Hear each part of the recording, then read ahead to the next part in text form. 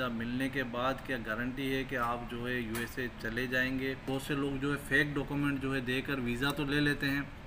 फिर उसके बाद जो है कितनी प्रॉब्लम हो सकती हैं, वो जो है हम आपको स्क्रीन के ऊपर दिखाते हैं। ये कुछ लोग जो है वीज़ा लगने के बाद भी जो है एयरपोर्ट से रिफ्यूज़ल जो है उनका वीज़ा हो जाता है। अल्लाम viewers this is Haider Khatri again और आज का जो मेरा टॉपिक है, वो है जी क्योंकि काफ़ी सारे लोग जो है वीज़ा वीज़ा वीज़ा करते हैं। तो सर जी, बिलफर्ज आपको जो है वीज़ा मिल गया, उसके बाद जो है गवर्नमेंट क्या कहती है? बिलफर्ज आप यूएसए जा रहे हैं तो आपको गवर्नमेंट क्या कहती है वीज़ा मिलने के बाद? क्या गारंटी है कि आप जो है यूएसए चले जाएँगे? यूएसए के एयरपोर्ट पे जो है इमिग्रेशन जो ऑफिसर है, वो आपको जो है एक्सेप्ट कर लेगा। तो ऐसा नहीं है सर जी, कुछ लोग जो है वीज़ा लगने के बाद भी जो है एयरपोर्ट से रिफ्यूज़ल जो है उनका वीज़ा हो जाता है। मतलब उनको जो है एंट्री नहीं दी जाती है, किसी भी सिक्योरिटी पर्पज़ की वजह से या उनको लगता है कि जी आप जो है गलत इन्फॉर्मेशन आपने सबमिट की है और आप जो उस पर्पज़ के लिए यहाँ पर नहीं आए हैं। तो चलिए मैं आपको स्क्रीन के ऊपर दिखाता हूँ कि इनकी जो है अपनी वेबसाइट के ऊपर सारी चीज़ें जो है लिखी हुई हैं, वो जो है हम सबको जानना ज़रूरी है क्योंकि हम तो फोर्स करते हैं जी वीज़ा लग जाए वीज़ा लग जाए वीज़ा लग जाए। तो बाज़ात ये चीज़ें भी जो है इंसान के जहन में होनी चाहिए, बहुत से लोग जो है फेक डॉक्यूमेंट जो है देकर वीज़ा तो ले लेते हैं। फिर उसके बाद जो है कितनी प्रॉब्लम हो सकती हैं, वो जो है हम आपको स्क्रीन के ऊपर दिखाते हैं।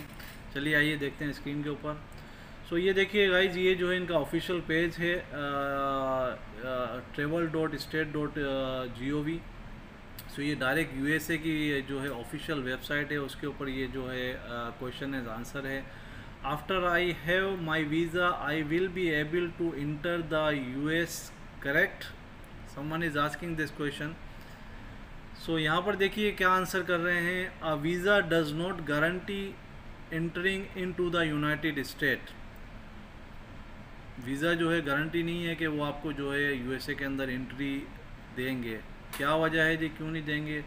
A visa allows a foreigner foreigner foreign citizen to travel to the U S port of entry and the department of homeland security U S custom and border Protection CBP immigration inspector authorize or denies admission to the United States so so, यहाँ पर जो है sir जी जो immigration inspector जो है जो homeland का जो बंदा वहाँ बैठा होता है जो इमिग्रेशन ऑफिसर होता है वो जो है डिसाइड करता है आपको जज करता है क्योंकि आप जब यहाँ से जाते हैं अगर कभी आप किसी ने भाई ने ट्रेवल किया है या जिसने नहीं भी ट्रेवल किया है जब आप एयरपोर्ट पे जाएँगे तो यूएसए जब जाते हैं तो आपका जो है फ़र्स्ट टाइम अगर आप बिलफज आप ट्रैवल कर रहे हैं तो आपसे आपको जो है एक साइड में लेके जाते हैं उनका एक केबिन होता है। आ, कुछ मतलब डिटेंशन रूम भी होता है और एक छोटा रूम भी डार्क रूम बना हुआ होता है।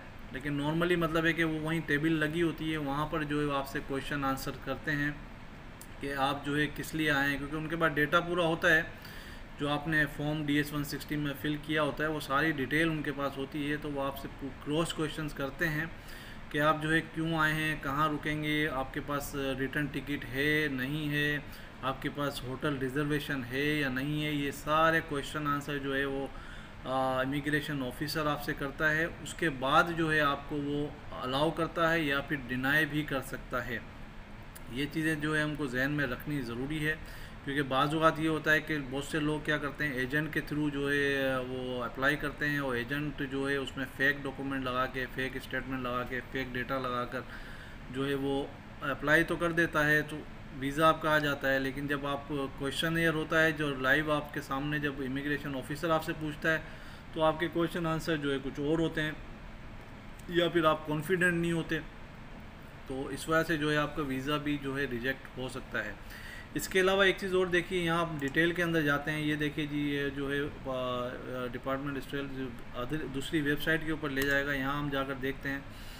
यहाँ पर देखिए गाइज़ क्योंकि अभी यूएसए जब आप जाएँगे, आप बिल्फल चले भी जाते हैं और आप सक्सेस हो जाते हैं और यूएसए के अंदर आप लैंड कर जाते हैं। तो आजकल जो है यूएसए के अंदर जो पासपोर्ट है, उसके ऊपर इंट्री स्टैम्प नहीं लगती है। वो मतलब ऑफिसर सिस्टम के अंदर तो लगा देते हैं, लेकिन आपको जो है पासपोर्ट के ऊपर स्टैंप नहीं करके देते हैं। तो अभी आपने फिर क्या करना है? तो उसके लिए जो है आई नाइन्टी फोर जो एक इनकी जो वेबसाइट है, उसके लिए मैंने अलग से एक वीडियो डाली हुई है। उसके ऊपर आप जाएँगे, जैसे ही आप एंट्री करते हैं तो सबसे पहले आपने होटल में रेस्ट वेस्ट करने के बाद नेक्स्ट डे ही आपको जो ये चेक करना है। आई नाइन्टी फोर के, उस पर जाके आपको चेक करना है कि आपको जो अलाउ किया गया है यूएसए के अंदर, कितने दिन तक जो है आप यहाँ पर स्टे कर सकते हैं। क्योंकि वीज़ा तो आपका वैलिड है पाँच साल या दस साल, लेकिन वहाँ पर यूएसए के अंदर एंट्री आपको कितने दिन के लिए मिली है? मतलब बाज़ात नॉर्मली तो छः छः महीने के लिए होती है, लेकिन बाज़ात तीन महीने भी होती है बाज़ात नब्बे दिन भी होती है बाज़ात तीस दिन भी होती है। तो आई नाइन्टी फोर आपने लाजिम चेक करना है। ताकि आपको ये पता चल सके कि आपको जो है कितने दिन का यहाँ स्टे मिला है, ताकि उससे पहले पहले आप तो या तो फिर स्टे अपना जो है एप्लीकेशन दे कर एक्सटेंड करें या फिर आप एग्ज़िट करें वहाँ से। सो so गाइज़ ये जो है छोटी सी इन्फॉर्मेशन थी। होप आपको जो है अच्छी लगी होगी। तो चैनल को जो है लाइक कर दीजिए सब्सक्राइब कर दीजिए और अगर कोई क्वेश्चन है तो वो कमेंट्स में आप ज़रूर लिखा कीजिए। तो मैं इमीडिएटली जो है आपको उसका रिप्लाई करूँगा। तो दीजिए हैदर खत्री को इजाज़त। अल्लाह हाफिज़।